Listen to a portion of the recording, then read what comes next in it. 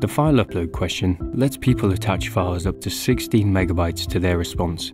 It's the perfect question if you need people to add images, documents, or even GIFs to their response.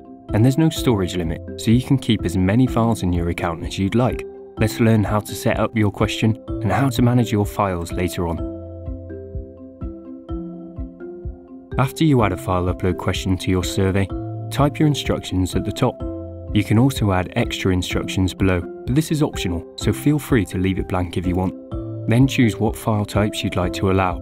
So if you only want people to upload images or photos, uncheck all the options except for PNG and JPEG. The validation message will automatically adjust below, but you can also edit it if you want to. You can only upload one file to each question, so if you need people to add more files, you'll need more file upload questions.